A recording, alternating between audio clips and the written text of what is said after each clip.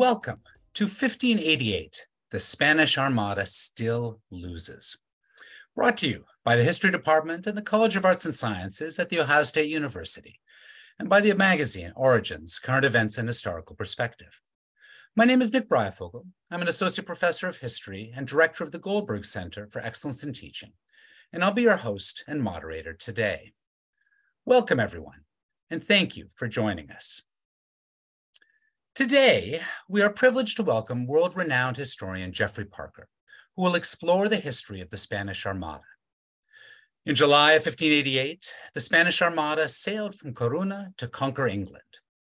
Three weeks later, an English fireship attack in the Channel and then a fierce naval battle foiled the planned invasion. Many myths still surround these events.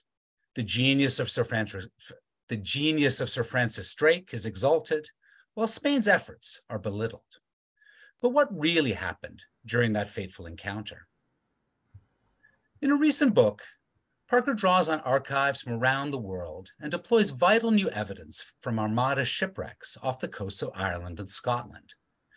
Today, he'll provide a fresh understanding of how the rival fleets came into being, how they looked, sounded, and smelled, and what happened when they finally clashed looking beyond the events of 1588 to the complex politics which made the war between England and Spain inevitable, and at the geopolitical and dynastic aftermath, Parker will deconstruct the many legends to reveal why, ultimately, the bold Spanish mission failed. Let's take a moment to get to know our speaker. Geoffrey Parker taught at Cambridge and St. Andrews Universities in the United Kingdom at the University of British Columbia in Canada, and at Illinois and Yale Universities in the United States before becoming the Andreas Dorpalen Professor of European History at The Ohio State University in 1997. He has directed 35 doctoral dissertations to completion, as well as publishing 40 books and over 100 articles in three particular areas.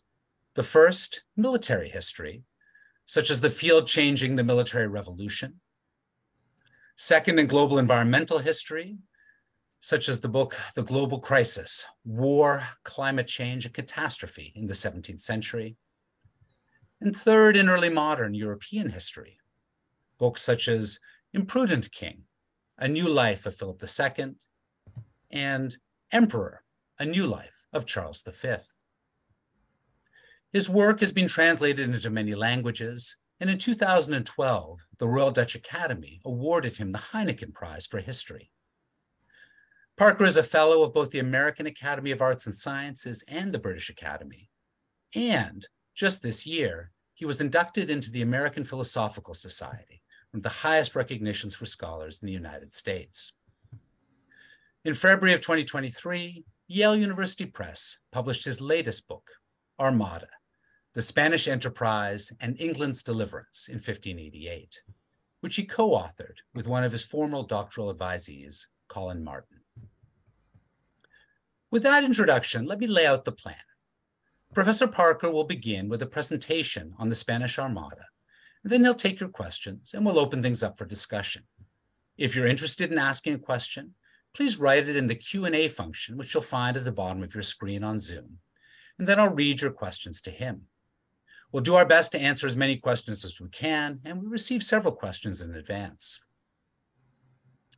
We'd also like to take a moment to acknowledge that the land the Ohio State University occupies is the ancestral and contemporary territory of the Shawnee, Potawatomi, Delaware, Miami, Peoria, Seneca, Wyandot, Ojibwe, and Cherokee peoples.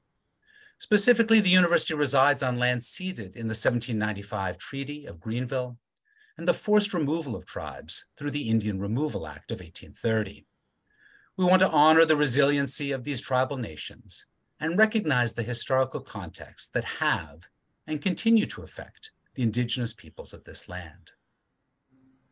Now, without any further ado, let me pass you over to Professor Geoffrey Parker, who will take us on an exploration of 1588, the Spanish Armada still loses. Over to you, Professor Parker.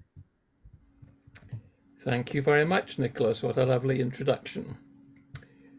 I would like to underscore at the beginning that this is May the 8th, an important anniversary in Europe. In my country, it's known as Victory in Europe Day because on the 8th of May 1945, World War II in Europe ended. It's a public holiday in France. No surprise there. The French love holidays. May the 1st, International Labour Day, May 18th, Ascension Day, May 29th, Pentecost, and so on. But May the 8th is different. Never before or since World War II have so many people died violent, unnatural deaths in such a short space of time. So I'd like to begin by sparing a thought today for the millions of men, women, and children for whom Victory in Europe Day came too late. And now I'd like to transport you back, not to 1588, not yet, but to 1985 when I went to uni the University of Illinois at Urbana-Champaign for the first time to give a job talk. I chose to speak about my research with Colin Martin on the Spanish Armada, hoping that our combination of history and archaeology would create a good impression. But at the end of my talk, a faculty member at the back raised his hand and said, Well, I listened carefully to what you had, to, this is my Illinois accent, to what you had to say, but I couldn't detect anything really new. I paused for a moment to wonder, is that really a hostile question? Yup. And so I answered with a smile, I guess you're right. The Spanish Armada still loses. The entire room erupted into laughter and applause, which puzzled me. Yes, it was a funny line, but not that funny. And I remained puzzled until the department chair explained to me that the same faculty member had asked that same question after every job talk, but I was apparently the first candidate to hit a return serve. Despite this cruel attempt to destroy my career at UIUC before it even started, I got the job, and in 1988, Colin Martin and I brought out our book. It spent 14 weeks in the British bestseller charts, rising to number five. And then this year, we brought out a second edition. But don't get your hopes up. It may be 728 pages long, but the Spanish Armada still loses. Which prompts the question why did two old guys like Colin Martin and me devote several years of our lives to doubling the size of our book if we couldn't change the outcome? The media we used were just the same. We told our story using the same combination of images, artifacts, and documents. Here you see on the left an image, the ensign of one of the Portuguese galleons captured by the Dutch and displayed in triumph in a church in Leiden in the Netherlands. In the center, you see an artifact specially chosen for you rodentologists. It's the skull of a rat found on one of the excavated Armada wrecks. And on the right, a document, the last will of Don Antonio de Ulloa, a Spanish nobleman lynched after being shipwrecked and captured in Ireland. Um, just permit me to say a word or two about that. Uh, here's his signature, Don Antonio de Ulloa, and it ends in mid-sentence. El verdugo, the hangman, no me da más lugar de the hangman won't leave me any more time to. And the guy's dragged off. And um, this little list here one, two, three, four, there's his name, Don Antonio de Ulloa, a list of 34 Spanish officers captured after they staggered ashore from their wrecked ships and hanged in Galway town on the 9th of October 1588. Now, the will on the right comes from a Spanish archive the list on the left comes from a British archive. Record linkage plays a crucial role in our story, both between public and private archives in eight different countries and between history and underwater archaeology. Although the new edition of our book contains lots more images, there are now over 200 of them, and lots more text, 21 chapters instead of 14, Colin and I still address the same two simple questions as before. First, why did Philip II decide that the best way to conquer England and restore it to the Catholic faith was to send from Spain to Flanders a fleet consisting of 130 ships? You see the totals here 130 ships, 27,305 men, 2,431 big guns, and 123,780 artillery rounds for them. And then the second question why did his plan fail so spectacularly, forcing his fleet, Armada in Spanish, to return to Spain by sailing north around Scotland and Ireland, a 5,000 mile odyssey that lasted at least two months, in which at least 35 ships and at least 10,000 men perished. Now, the answer to the first question, why do it that way, is relatively simple. Philip wanted his fleet to sail from Spain to Flanders, which is one of his possessions, and pick up there an army of 27,000 veteran troops who are awaiting precisely this. They are the invasion force the Armada will escort them across to Margate in Kent, and from Margate they will march on London, where they hope to capture Queen Elizabeth and her ministers and kill them all. Philip expected the Royal Navy to try and prevent this, and so he packed each ship in the Armada with hundreds of soldiers. Remember, 27,305 men on just 130 ships and he was confident that they would suffice to board and capture any adversary who got in their way. Notice that the soldiers are up here in what are called the fighting tops, as well as lining the decks here, just waiting for the chance to get at the English. This is the English. The grand strategy almost works. May I just refer you back to this engraving made by an English draftsman, Augustin Ryther. The Armada leaves Spain, as Nicholas just told you, on the 21st of July, 1588. It reached the Channel just 10 days later.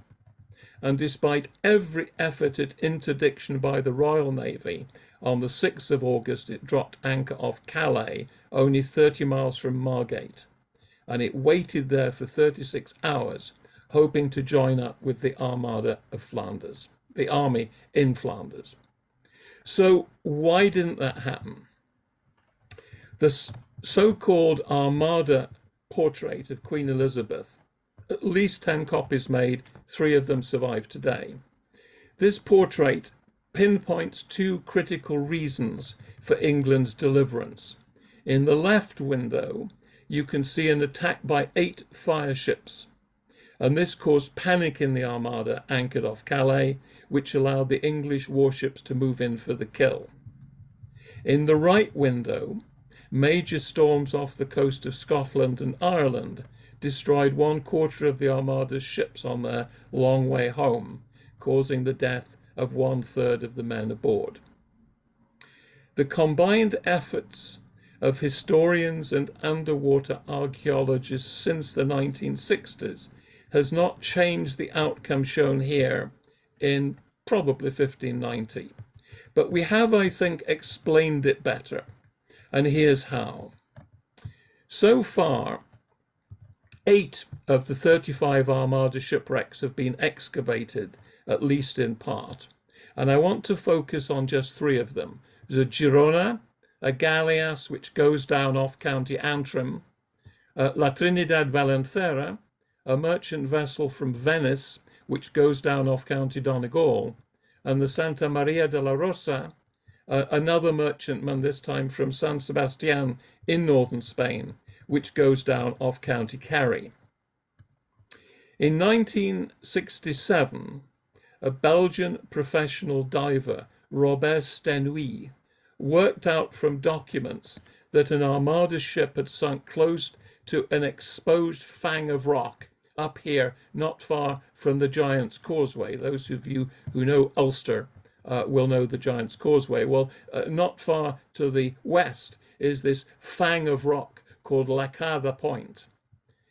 When government cartographers mapped the area back in the 1830s, they recorded two traditions. English speaking residents in the area said the Spanish ship went down to the east. Excuse me, they said to the west of Lacada Point, whereas the Gaelic speakers said no, it went down to the east of Lacada Point. And the wreck lay undiscovered until 1967 because no one before Sténuit believed the Gaelic speakers. Perhaps they forgot that in 1588 there are no English speakers living in this area. So why would you believe them? On his first drive, Sténuit found a large artillery piece. Um, here it is, there's Sténuit, uh, bringing it up from the bed of the sea. Uh, almost certainly Spanish, but what really clinched it was the thousand gold and silver coins, the 12 gold rings, the six gold chains, and the 35 other items of gold jewelry, which were unmistakably Spanish. So, yes, he'd found a an Armada wreck. But how did he know they came from the Girona? A galleass built in Naples, propelled by a combination of oars and sails. He found, Sténuit found no fragments of the ship itself, and in any case, no ship in the 16th century carried a nameplate.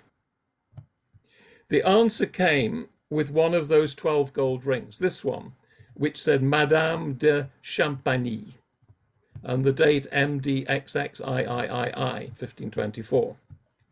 Now, in 1524, Nicole Bonvalot, Madame de Champagny, gave birth to a son, and we know that his son, Thomas Perrenot, sailed with the Armada aboard the galleass Girona. So finding his granny's ring identified the wreck. Only nine of the 1,300 men aboard Girona when it sank lived to tell the tale, and Thomas Perrenot was not among them. Nevertheless, we can reconstruct several aspects of the lives of the drowned men and of the abandon of the sunk ship from the artifacts left behind and excavated by Sténuit. This is the gun that you saw a couple of moments ago being excavated.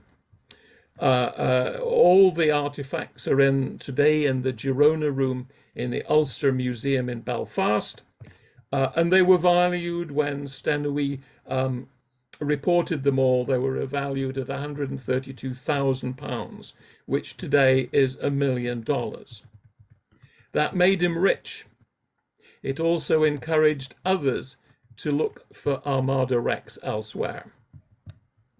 The following year, 1968, a team of divers that included Colin Martin, later to be my co author, decided to check out a local oral tradition that an Armada ship called the Queen of the Rosary had sunk in Blasket Sound in County Kerry.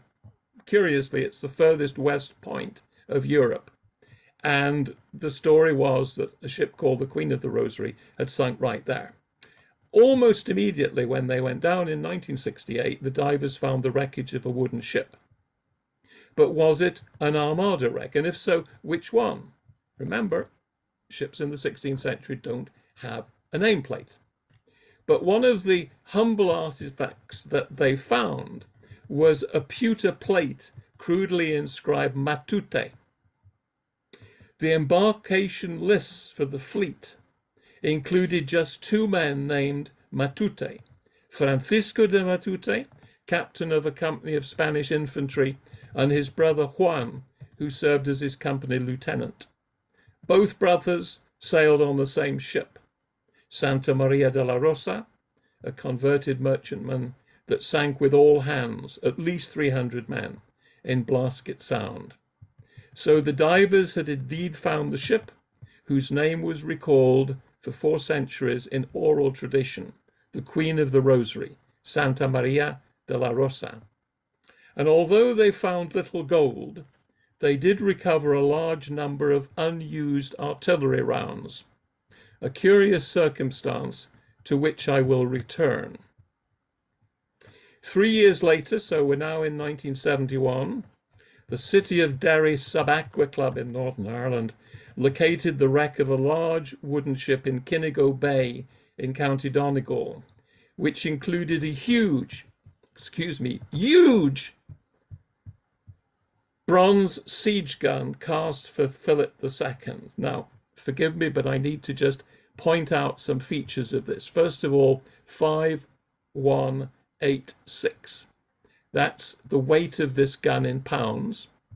Philippus Rex, the owner, John Juan Manrique de Lara, the guy who oversaw the casting, and Anno 1556, 1556, the year it was made. So, they found a large wooden ship carrying a bronze siege gun wearing, weighing 5,186 pounds in Kinnagoe Bay, but it could have sunk at any time after 1556. Was it an Armada wreck? And if so, which one? Please remember, no ship in the 16th century bore a nameplate. Yes, I know I'm repeating myself, but it's what you'd expect of someone my age, and I do hate to disappoint. I found the identity of this wreck in a document in Simancas Castle, which since 1540 has housed the archives of Spain's central government. Philip II either hired or hijacked almost a hundred merchant ships for the invasion of England in 1588. Each of them needed additional military equipment in preparation for the campaign. And since each every item was government issue, every item loaded had to be listed ship by ship. Those lists are filed in Simancas in a series conveniently labeled Armada de Inglaterra, the Armada of England.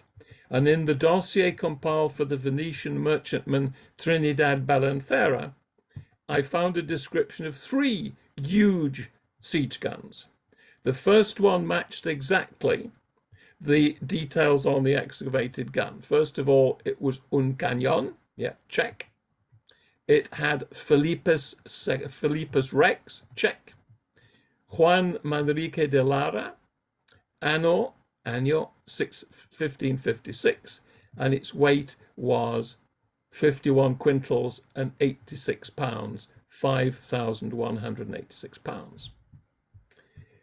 That sufficed to identify the wreck because in the pre industrial age, mass production was impossible even with items meant to form a matching set, as with siege guns, each one would have had slightly different dimensions.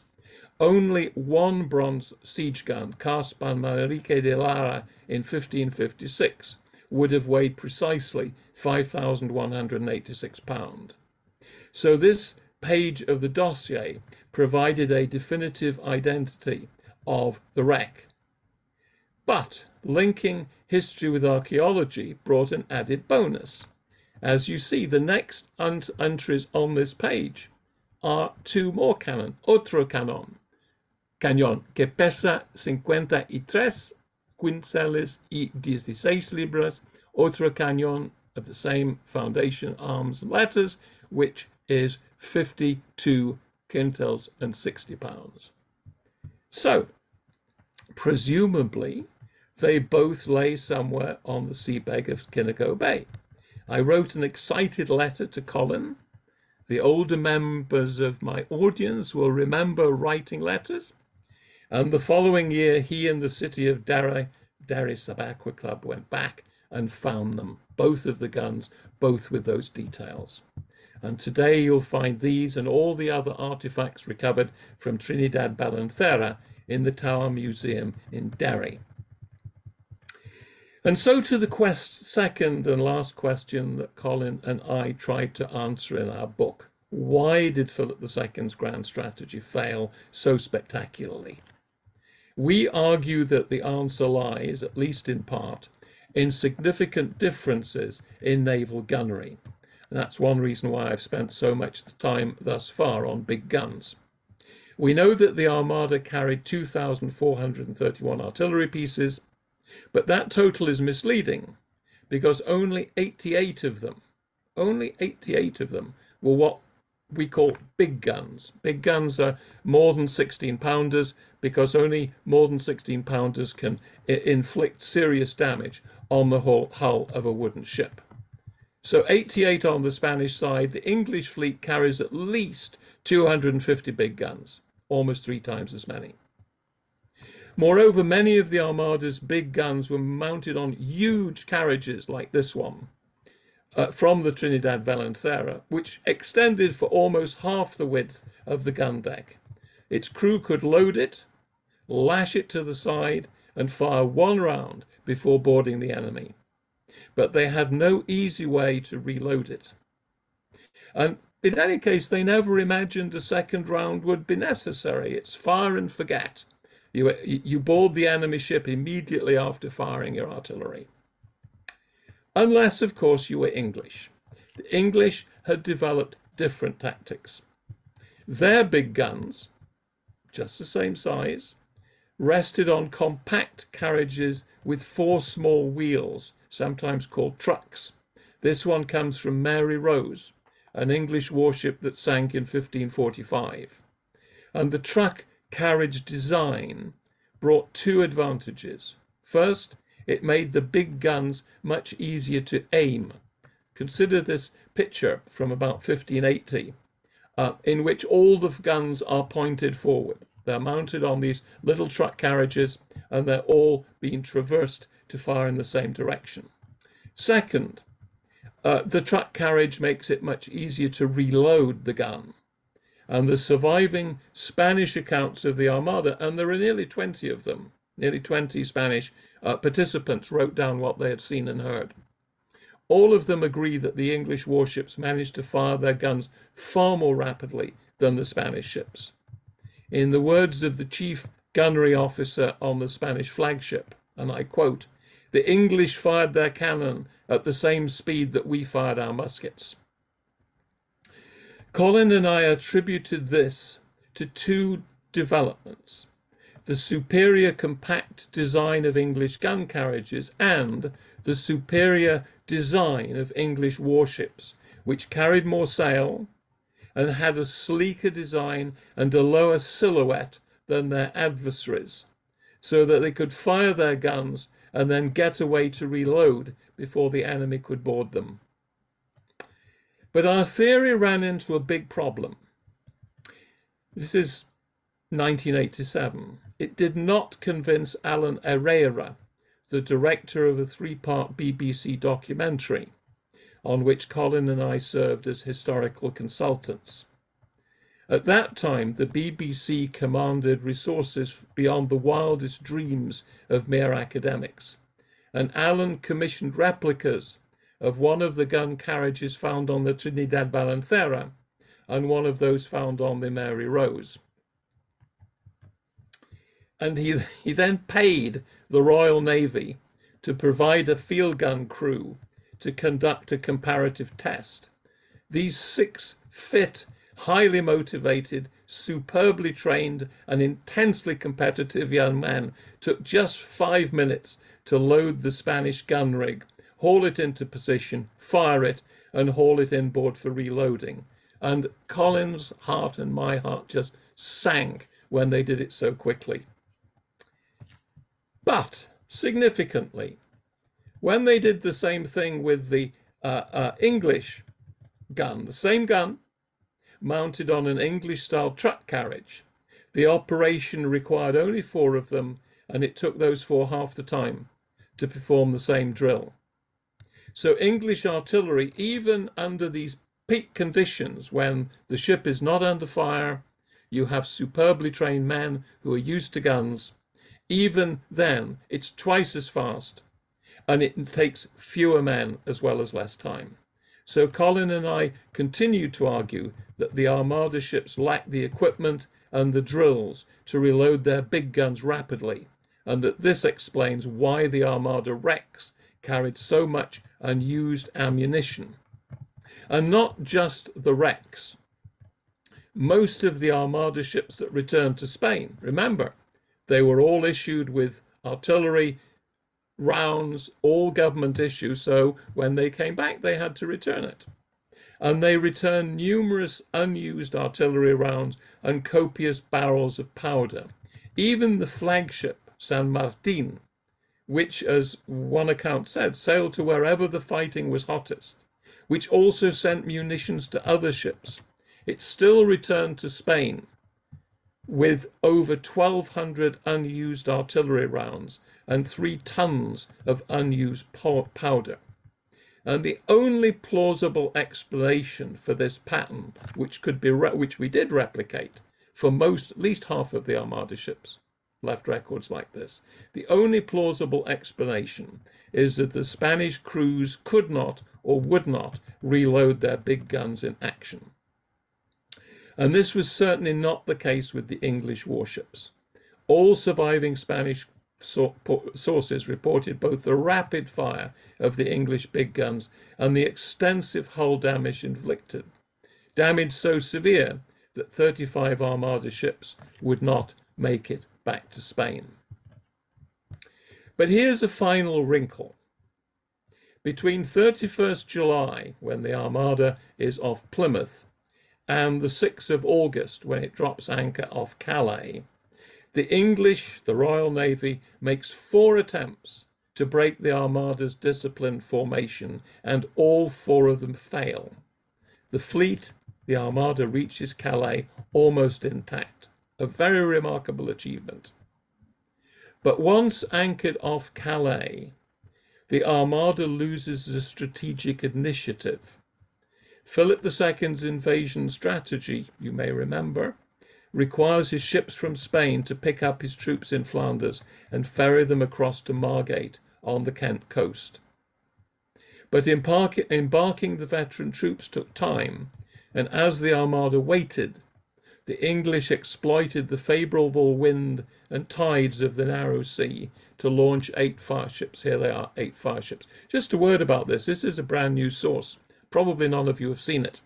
Uh, it's one of 10 uh, line and wash drawings of the Armada campaign, obviously done by a Dutch draftsman because the uh, wind rose is in Dutch, Oost and Zuid.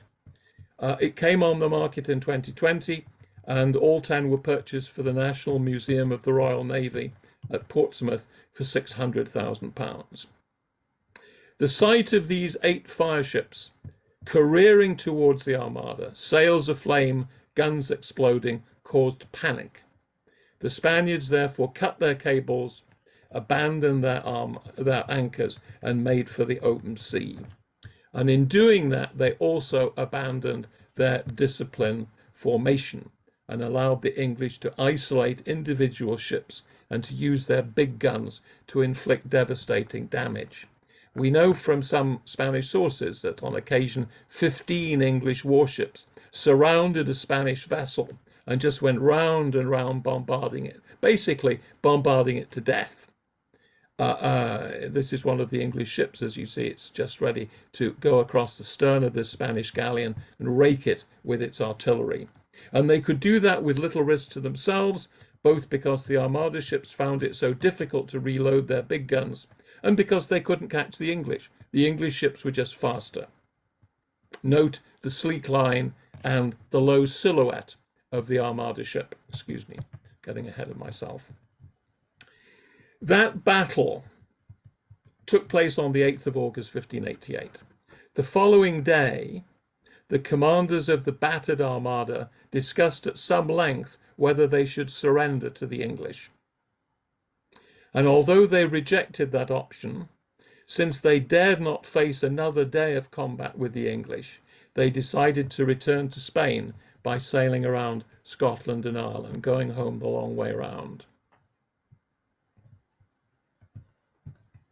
Many ships could not withstand the storms that struck them on the way, partly because England's big guns had inflicted so much structural damage, and partly because they'd left their anchors off Calais.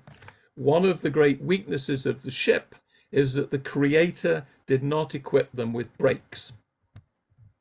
So the Spanish Armada still loses. But Colin and I hope that you've detected some things in our argument that eluded my interlocutor in Illinois and have seen some things that really are new. But if not, why not buy a copy of the book and read chapter 16 entitled Anatomy of Failure? Alternatively, I can answer your questions now. Thank you very much.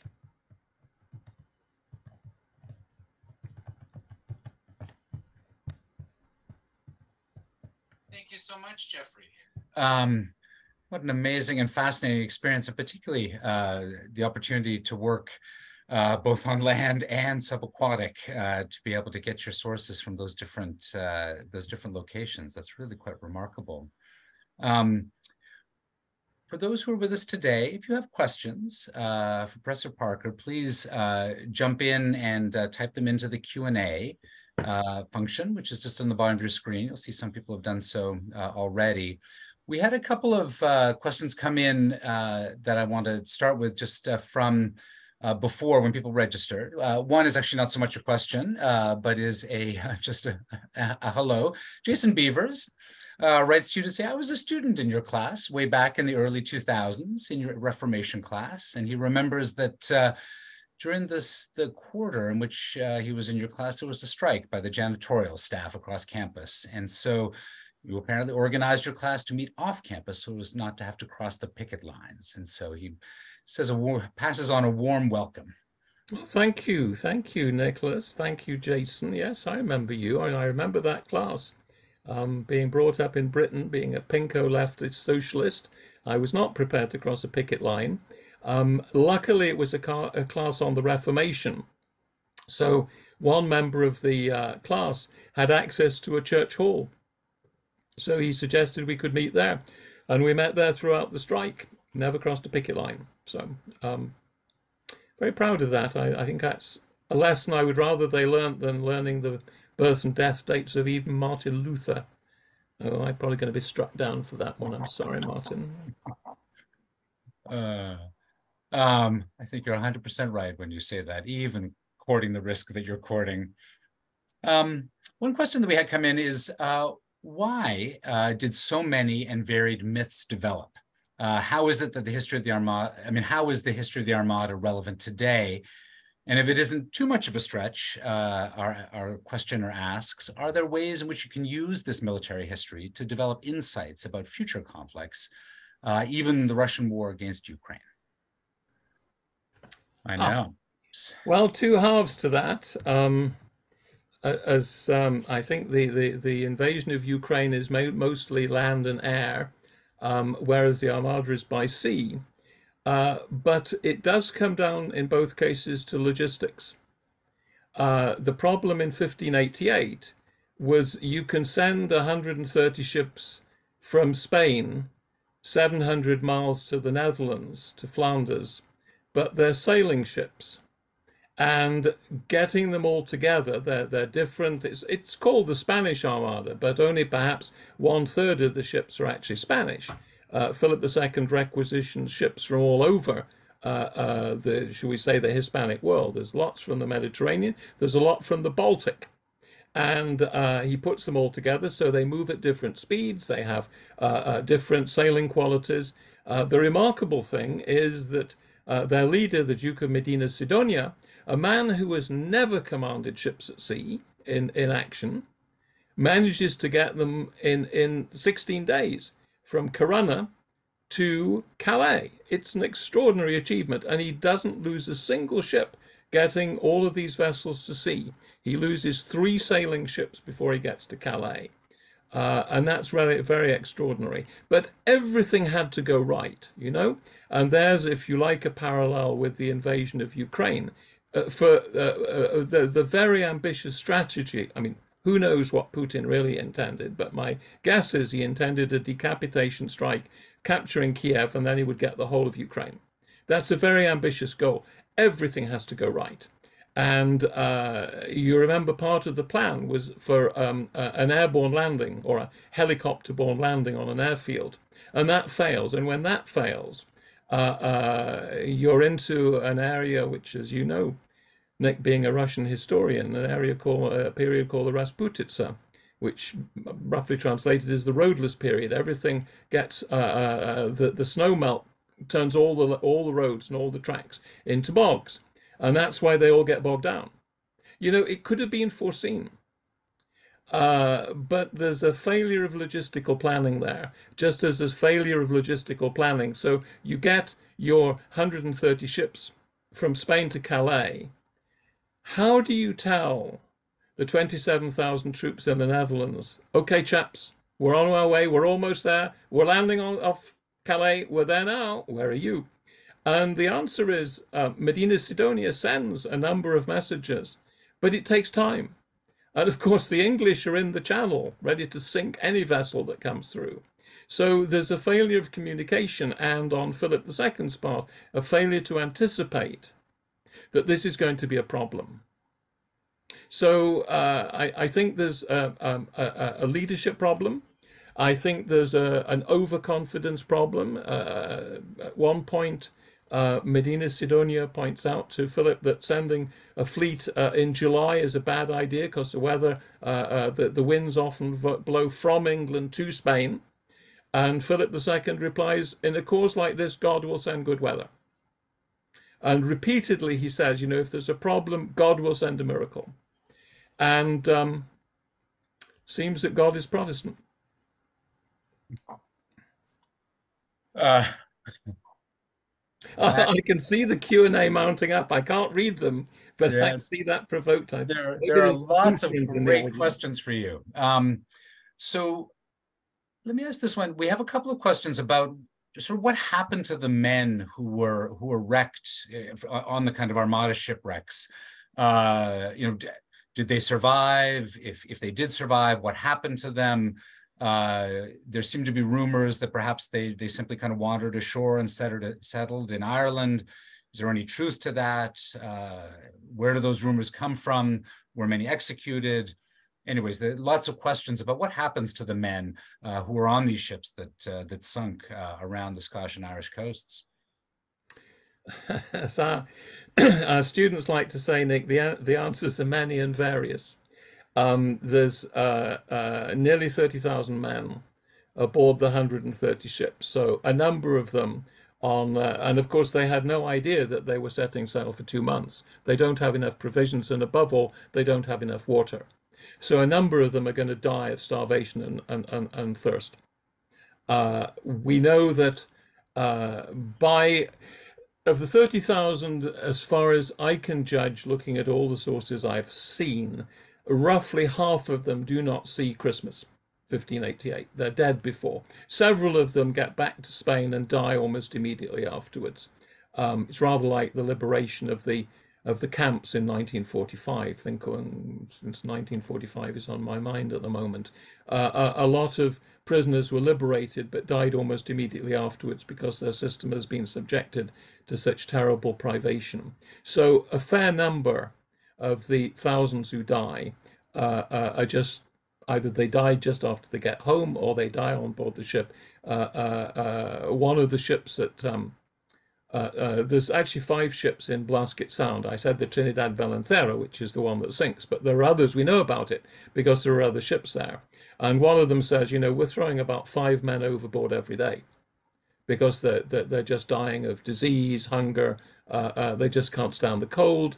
Um, remember, this is getting on to September, October, and you're at fairly northerly latitude. So, natural causes. A number of them do survive uh, uh, even though captured.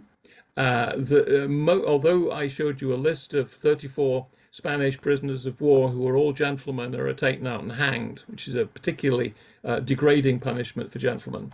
there are plenty more who are ransomed. After all, you can get a lot of money for a Spanish gentleman, and um, most of those who are hanged are hanged in the uh, in the very early days when the authorities, the English authorities in Ireland, are terrified that this is a second fleet, that this is another fleet coming from Spain. And once these guys get ashore, they're all armed to the teeth, they're experienced soldiers, and there's a great and I think reasonable fear that if they get ashore, they recover and they form up into units, they're going to take over. So you have to kill them first. So there's a certain number who are just killed in cold blood. But I think the majority, and there are others who are ransomed. So three categories already: those who die of natural causes, those who are executed, uh, and those who survive and are ransomed. The fourth category are those who, of course, who just drown trying to get ashore. Uh, uh, there's um, some terrible. Uh, uh, the English sources in Ireland all say, you know, we've never seen storms like this. There are terrible storms that strike the west of Ireland in September 50, 1588 and a number of ships come on shore and are basically pounded together by the waves. You know, we've all probably been in the sea swimming and got caught out uh, uh, by by sudden riptides or heavy surf or whatever it may be. And the stories of of, of a thousand bodies at a place called Streedagh. Uh, uh, uh if you've seen the film Calvary, um, where they pace up and down the beach, that Streedagh Strand, where 1,200 uh, Spanish bodies were laid out. Um, the uh, Girona, which I mentioned, uh, which goes down 1,300 men aboard, nine of them survive. Um, uh, of those nine, they take them down to the beach to see all their all the bodies lying on the surf, lying on the strand. And uh, you know who is that? Who is that? They can't identify them, but there's an awful lot of bodies. So a lot of people drown. Those those are the four ways. Um, your I'm sure the myth your questioner refers to is the idea that all these people with dark hair and brown eyes in Ireland are descended from Armada survivors. So they come ashore, uh, they're battered by the waves, but somehow they manage to reproduce. Uh, they are, you know, stereotypes are hard to defeat. Uh, no, I don't think so. There is a lot of fishing um, from Galicia, uh, from the north coast of Spain. A lot of fishing boats uh, go up to Ireland, and of course, you know, some of them winter there. And I suspect that's why it's much less romantic story, but a lot more plausible uh, that the dark-haired, brown-eyed Irish are in fact descended from fishermen um, who, who in the 16th, 15th, 14th century and today uh, come up uh, from Spain and fish off the Irish fishing banks. So um, I think that's where that myth comes from. Uh, uh, there are one or two uh, survivors who write, uh, who who get ashore, survive, and write accounts of how they walked all the way across Ireland um, and survive, get to Scotland, and get home again. But you know, if there's if there's twenty of those, I'd be surprised. Wonderful. We have a lot of questions about some of the just the logistics uh, of various aspects of uh, of uh, of the of the battle. Um, let me throw out a few of them. I won't give you all of them at once, but uh, maybe three. Uh, so one is um, one asks why did the Armada why did the Armada sail north around Scotland and Ireland instead of the shorter route south? Second asks, did the Dutch fleet play any role uh, in this in, in in the fighting? Um, and then questions about the English. Uh, so how did the English prepare for the attack? And were, in your estimation, the English gunners actually better trained than the Spanish? Yeah, three great questions. Um, why do they? The first one is the easiest. Why do the? Why does the Armada decide it has to go north? I mean, first of all, they discuss surrender. Uh, uh, that was perhaps the most surprising fact uh, that we found out this time. It's not in the first edition of our book, uh, but five different sources, um, uh, uh, people who'd been on the flagship, all describe uh, that there was um, a, a, serious discussion about surrender because they're out, you know, they've, they've been beaten, you know, they have just been thrashed by the English fleet. They cannot go back through the channel because they've just been thrashed. What they don't know is that the English have run out of shot. I mean, the English really do run out of shot. Uh, uh, one of the um, English admirals, a guy you don't really hear about, William Winter, uh, says, you know, out of my shot, my ship, we fired 500 rounds today. I mean, that's a lot of shot. And and he says, you know, and I've none left. Um, so so the English, you know, pretend they sort of uh, come round the Spanish fleet. They sort of snap at its heels. Um, so the Spaniards think that they're in for another thrashing if they try to go south. But in fact, if they tried it on, they would have been successful. We know they had plenty of ammunition. They don't know that the English don't. So that, that's the first answer. They have to go north because they believe that if they try going south, they'll have another day of, of catastrophically uh, uh, catastrophic uh, losses at the hands of the superior English fleet. Second, what are the Dutch doing? Yes, um, the English uh, uh, asked that very question. You know, what, what are the Dutch doing? It's on one of the documents. Um, their admiral is, is uh, Justinus of Nassau, uh, uh, son of William of Orange. And Lord Burleigh writes on one account when he reads about uh, what's going on, he said, Wherefore serveth Justinus and his ships? Um, and the answer is they're playing a very important role. They are preventing the army in the Netherlands from getting out.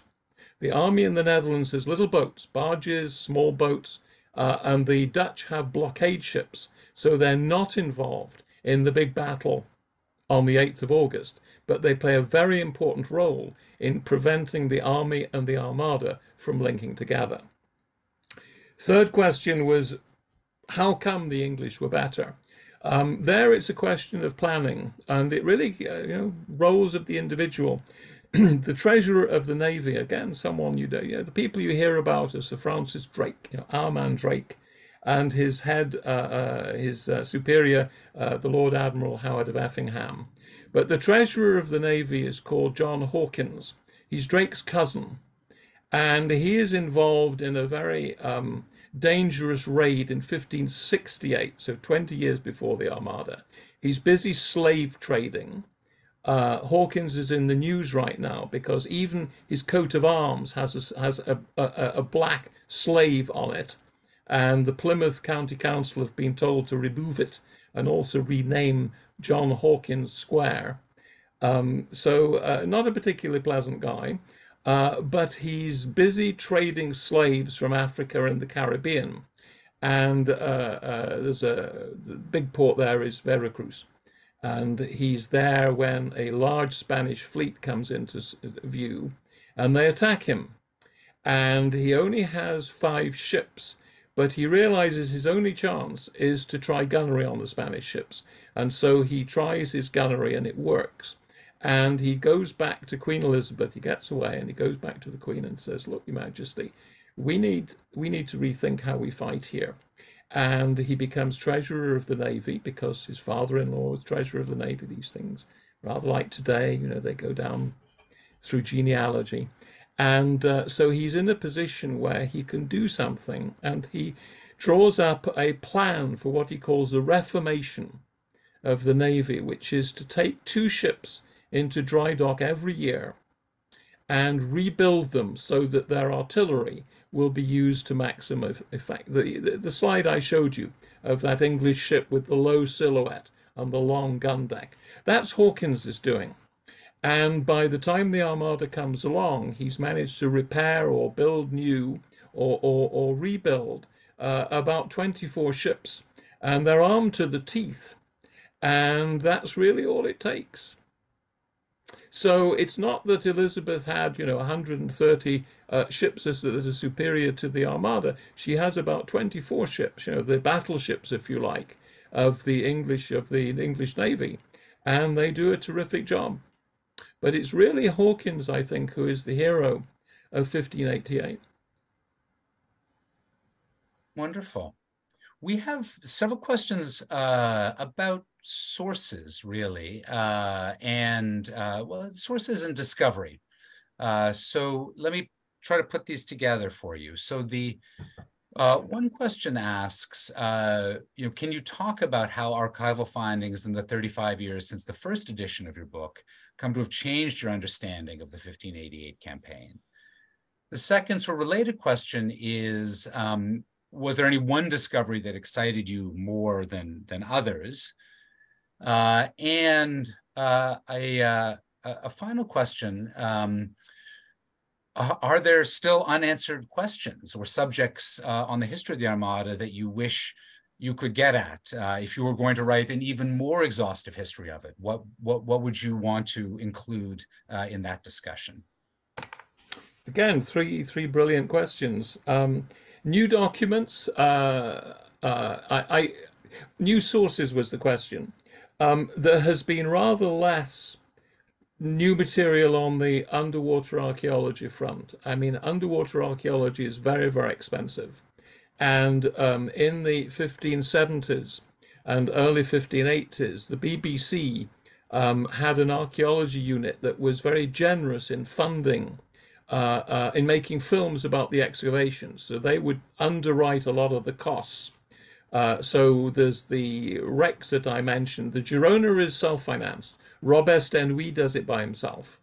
Uh, but Colin Martin and his team uh, excavate the um, um, Trinidad Valencera, the Santa Maria de la Rosa, and another ship that I didn't mention uh, called the Gran Grifón, which is a Baltic uh, merchantman which they found on Fair Isle. Uh, since then, it's been largely accidental. Uh, there's a wreck in Tobermory Bay on the Isle of Mull, uh, but that was excavated in the 18th and the 19th century by a guy who thought that if you dynamited it, uh, you would see, you would find the gold. Well, no, it didn't work out that way. And he managed to destroy what would have been a perfectly preserved ship. It would have been like another Mary Rose or another Vasa, uh, the ship in Scotland. Uh, the others are off the coast of Ireland, and there's three of them on this place I was mentioning, Streedagh Strand, the one you can see in the film Calvary. And their excavation is very much a um, a product of climate. You knew I was going to talk about climate. Climate change is really helping um, um, the archaeologists because uh, huge, huge storms are coming in off the Atlantic and uncovering parts of the wrecked ships. We know there are three ships there. Colin and I managed to identify them. We found the dossiers. We know exactly what's there. But the problem with excavation is you have to preserve. And the conservation facilities are, are not fully developed. Uh, they're protected now by the Irish government, which passed a, a statute protecting them. And um, they uh, basically, when something is uncovered by the new storms, they bring it out, they preserve it, they study it, etc. But they don't have, no one has the resources to do a dive on these three ships. You, it could be done. We know they're there.